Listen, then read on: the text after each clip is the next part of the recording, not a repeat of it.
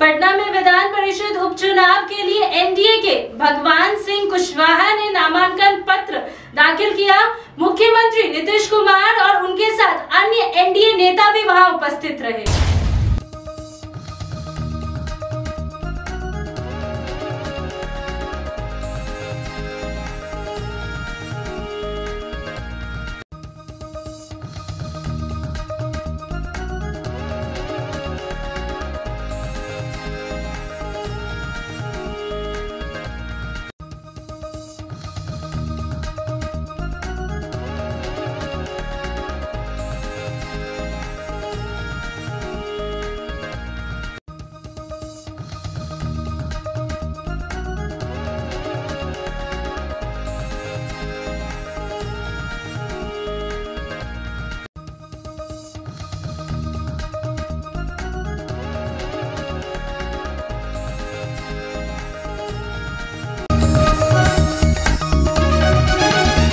आप देख रहे हैं न्यूज़ यू एन आई।